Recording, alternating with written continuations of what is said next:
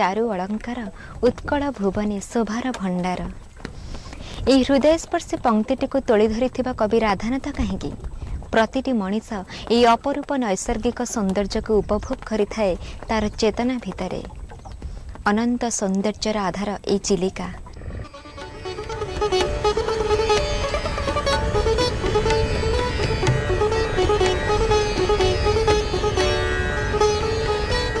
ଚିଲିକାର ନୀଳଜଳ ସୁନ୍ଦର।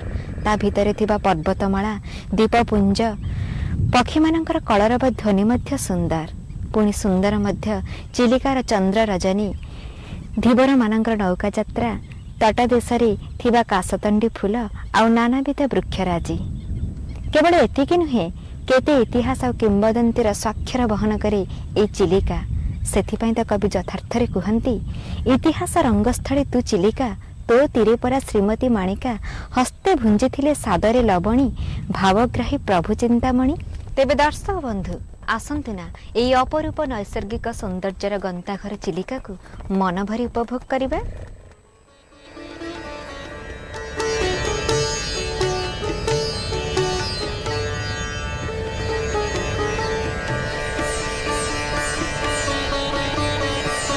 ଶାନ୍ତ ସୁନ୍ଦର ଚିଲିକାର ଅପରୂପ ସୌନ୍ଦର୍ଯ୍ୟକୁ ଦ୍ୱିଗୁଣିତ କରି ତା ଭିତରେ ଥିବା ବିଭିନ୍ନ ପର୍ବତମାଳା ବିଶେଷ କରି ମା କାଳିଜାଇ ମନ୍ଦିର। ଲୋକକଥାରେ ପ୍ରଚଳିତ ଅଛି ପ୍ରତ୍ୟକ୍ଷ ଠାକୁରାଣୀ ମା କାଳିଜାଇ ଏଠାକାର ଧୀବର ତଥା କାଳିଜାଇ ମନ୍ଦିରକୁ ଆସୁଥିବା ସବୁ ଲୋକଙ୍କର ଦୁଃଖ ହରଣ କରିଥାନ୍ତି। ଏହି ପବିତ୍ର ପୀଠରେ ମକର ସଂକ୍ରାନ୍ତିରେ ଏକ ବିରାଟ ଉତ୍ସବ ଅନୁଷ୍ଠିତ ହୋଇଥାଏ।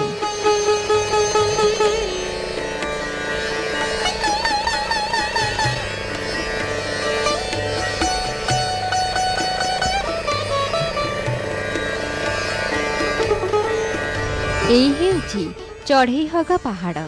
ଶୀତ ଋତୁରେ ଏଠାକୁ ଆସୁଥିବା ବିଦେଶାଗତ ପକ୍ଷୀମାନେ ଏହି ପାହାଡ଼କୁ ଆସିଥାନ୍ତି।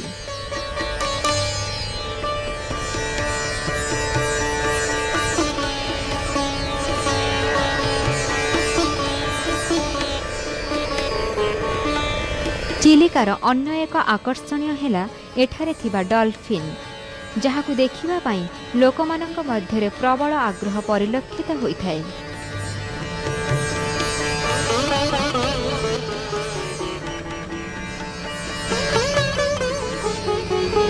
ଦିଗନ୍ତ ବିସ୍ତାରେ ନୀଳାମ୍ବୁ ଚିଲିକା ମଧ୍ୟରେ ଥିବା ନଳବଣ ଏକ ଜନଶୂନ୍ୟ ଟାପୁ। ଏହି ଟାପୁଟି ନଳ ଜାତୀୟ ଏକ ପ୍ରକାର ଲମ୍ବା ଘାସରେ ପରିପୂର୍ଣ୍ଣ ଥିବାରୁ ଏହାକୁ ନଳବଣ ବୋଲି କୁହାଯାଉଥିଲା।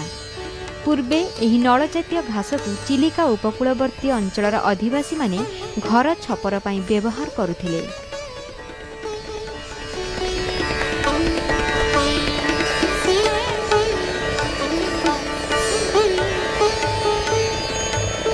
ଏଠାରେ ମଧ୍ୟ ଭିନ୍ନ ଭିନ୍ନ ପ୍ରକାରର ଦଳ ଓ ଶୈବାଳ ଜାତୀୟ ଜଳଜ ଉଦ୍ଭିଦ ଦେଖିବାକୁ ମିଳିଥାଏ। ବିଦେଶାଗତ ପକ୍ଷୀମାନଙ୍କୁ ଚିଲିକାର ନଳବଳ ଅଞ୍ଚଳରେ ଉପଯୁକ୍ତ ପରିବେଶ ସହ ସୁରକ୍ଷା ଦେବା ପାଇଁ ବନ୍ୟପ୍ରାଣୀ ବିଭାଗ ଓ ସରକାରଙ୍କ ତରଫରୁ ବ୍ୟାପକ ପଦକ୍ଷେପ ନିଆଯାଇଛି। ନଳବଣ ମଧ୍ୟରେ ପକ୍ଷୀମାନେ ବସିବା ପାଇଁ ମାଟିବନ୍ଧ ନିର୍ମାଣ ସହ ବର୍ଷା ଦିନେ ଚିଲିକାର ଜଳରାଶି ବୃଦ୍ଧି ପାଉଥିବାରୁ ଏବଂ ଆଜିକାଲି କେତେକ ଜାତିର ପକ୍ଷୀ ଏଠାରେ ରହିବା ପାଇଁ ଆଗ୍ରହ ପ୍ରକାଶ କରି ସ୍ୱଦେଶକୁ ଫେରୁନଥିବାରୁ ଏହାକୁ ଅନୁଧ୍ୟାନ କରି କର୍ତ୍ତୃପକ୍ଷ ମାଟିବନ୍ଧମାନଙ୍କରେ ସୁନ୍ଦରୀ ବନର ହେନ୍ତାଳ ଜାତୀୟ ବୃକ୍ଷ ଲଗାଇ ସେମାନଙ୍କର ରହିବାର ସୁବ୍ୟବସ୍ଥା କରିଛନ୍ତି।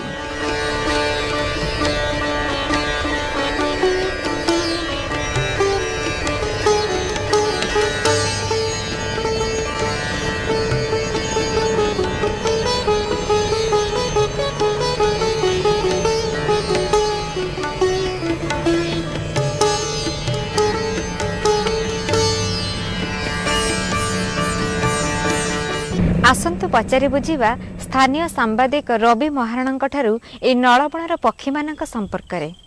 ଚିଲିକା ହ୍ରଦକୁ ଯେଉଁ ବିଦେଶାଗତ ପକ୍ଷୀ ଆସନ୍ତି ସେଗୁଡ଼ିକ ସାଧାରଣତଃ ଉତ୍ତର ଗୋଲାର୍ଦ୍ଧ ରାଷ୍ଟ୍ରରୁ ଏଠି ଆସି ପହଞ୍ଚିଥାନ୍ତି। ଏହି ପକ୍ଷୀମାନଙ୍କ ଭିତରେ ଅଛନ୍ତି ସୋଭଲର ପେଲିକାନ୍ ଦଦରାହଣା ପିନ୍ଟେଲ୍ ଗଡ଼ୱେଲ୍ ଏମିତି ଅଠାଅଶୀ ଜାତି ପ୍ରଜାତିର ବିଦେଶାଗତ ପକ୍ଷୀ।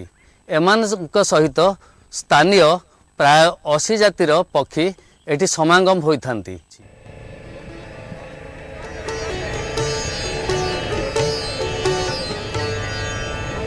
ଶୀତ ଋତୁରେ ସୁଦୂର Siberia Russia Kazakhstan Mongolia America Caspian ସାଗର ବୈକାଲ ହ୍ରଦ ଲଦାଖ ତିବ୍ବତ ଓ ହିମାଳୟ ଅଞ୍ଚଳରୁ ପକ୍ଷୀମାନେ ଆସି ଏଠାରେ ଭିଡ଼ ଜମାଇଥାନ୍ତି।